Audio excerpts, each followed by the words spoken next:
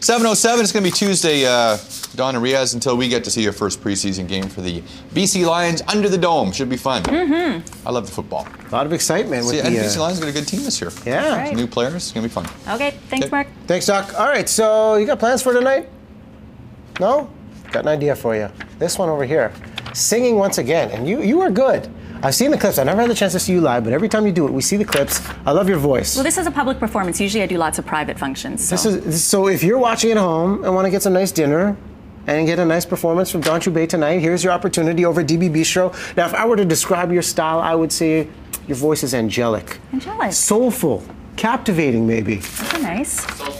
Sultry. Sultry, okay, Sultry, nice. Doc, Doherty says. Well, reading the press release for tonight, because, you know, when these kind of things happen, they send it out. The extraordinary talented Dawn Chubai kicks off a series of jazz evenings planned for the DB Bistro.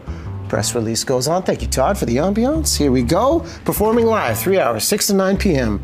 And then, Dawn is a celebrated local jazz singer. Originally inspired by the classic vocalists Ella Fitzgerald, B- Billie Holiday, and today, Dawn has a drippy, steamy style all of her own. Droopy. What does that mean? Drippy? I've never heard that adjective used. And we're about to do word of the week, so Dawn has looked it up because branding is important. Well, and you know, and I didn't write the press release, but Shalina, I love you. I love you, but drippy, I don't know. Drippy. Um, okay, so tending to drip. Mm, I don't know. Does that happen on stage? No, I, I hope not. That would be weird. Uh, sloppily sentimental, which I can see, maybe the sentimental part, and then the last one is lacking character. So I don't know if that's inaccurate. So third one's kind of bang on. First one, I'm just kidding. I'm just kidding. nice. Sloppily sentimental. I'll take that. I love your character. I love your voice. Thank you very Six much. to nine DB Bistro. Okay, quickly. Word of the week. Okay, word of the week reveal today is nympholepsy. It means, Are we gonna, are we gonna be okay with this one? I hope so. Okay.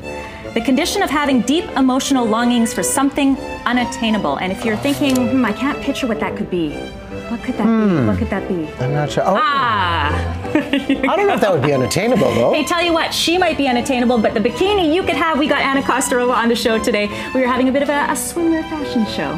Some bikinis, Michelle. Maybe something that you could be sporting this summer with that uh, new hour On my hourglass like Facebook figure page, they got said they wanted you to model, by the way.